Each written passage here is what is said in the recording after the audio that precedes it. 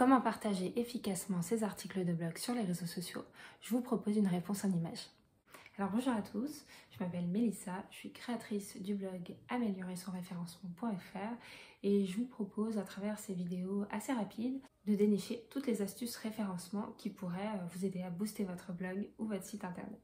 Alors pourquoi partager ces articles de blog sur les réseaux sociaux? Vous allez me dire, le référencement peut faire son travail, on n'est pas obligé forcément de se mettre sur Facebook ou Twitter pour avoir du trafic et pour se faire connaître.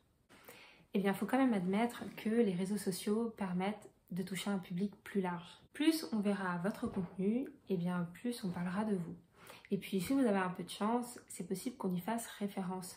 Des blogueurs ou des personnalités plus connues pourraient euh, eh bien, mentionner votre contenu, faire un lien vers votre blog, et dans ce cas-là, c'est bon pour votre référencement. Les réseaux sociaux facilitent aussi le côté viral de vos contenus, notamment avec le système de partage. En publiant sur les réseaux sociaux, vous diversifiez normalement le format de vos contenus. Et par conséquent, vous permettez à des personnes avec des sensibilités différentes eh d'être accrochées par ce que vous produisez. Partagez ces articles efficacement sur les réseaux sociaux, ça veut dire quoi? C'est être capable de ne pas passer des heures sur les réseaux sociaux. Si vous décidez de vous connecter pour votre business, eh bien évitez de vous disperser avec les conversations personnelles, évitez de rebondir de contenu en contenu, d'article en article. C'est un peu chronophage et ça ne vous permettra pas d'avancer vraiment. Partager ces articles efficacement sur les réseaux sociaux, ça veut aussi dire que dans la description de vos publications, vous devez ajouter un appel à l'action.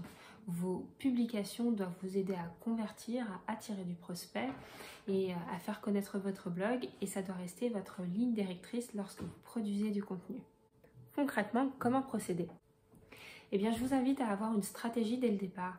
Alors, c'est un conseil un peu fourre-tout que vous retrouverez un peu partout. Eh bien, euh, j'aimerais détailler un peu l'idée de stratégie. Avoir une stratégie, à mon sens, ça signifie que vous devez savoir plusieurs semaines à l'avance ce que vous allez publier sur vos réseaux sociaux. Dès que vous produisez un article, essayez de vous demander de quelle manière vous allez le décliner.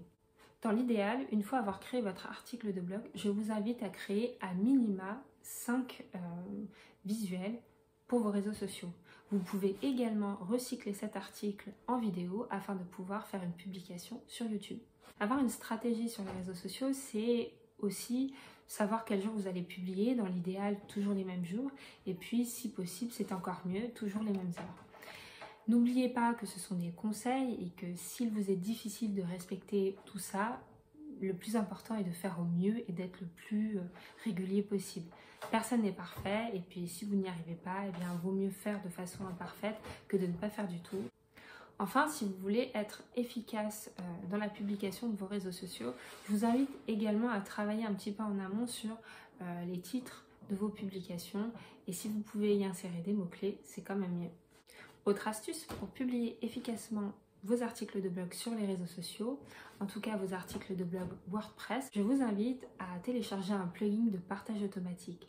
C'est le cas de Sassy euh, Social Share, je crois, par exemple, euh, mais il en existe un certain nombre. Un plugin de partage automatique vous permettra de diffuser votre euh, article sur l'ensemble des réseaux sociaux que vous aurez déterminés et paramétrés au préalable. Il est aussi intéressant de choisir trois réseaux sociaux sur lesquels vous vous concentrerez plus que les autres.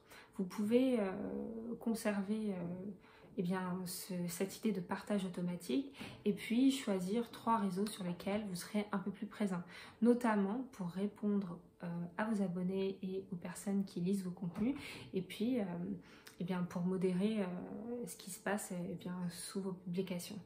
N'hésitez pas également à automatiser certaines publications sur les réseaux sociaux que vous aurez choisis, par exemple Pinterest qui est quand même assez chronophage au niveau euh, des partages, euh, eh bien, vous avez des outils comme Tailwind qui vous permettent de gagner un temps euh, vraiment incroyable. Alors, partager efficacement ces articles de blog sur les réseaux sociaux, ça ne veut pas seulement dire partager rapidement, mais c'est aussi partager utile.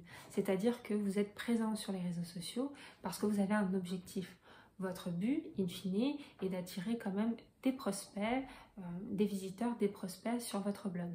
Donc, pensez à chaque fois que vous rédigerez euh, une publication à intégrer un appel à l'action. ça peut être un lien, ça peut être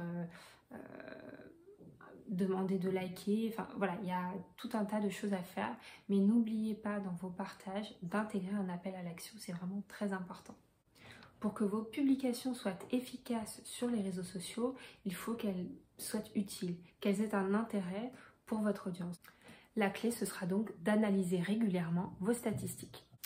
La vidéo du jour est terminée.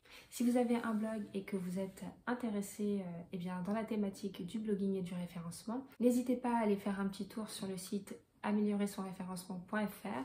Vous avez notamment un guide numérique complètement offert que vous pouvez télécharger dès maintenant.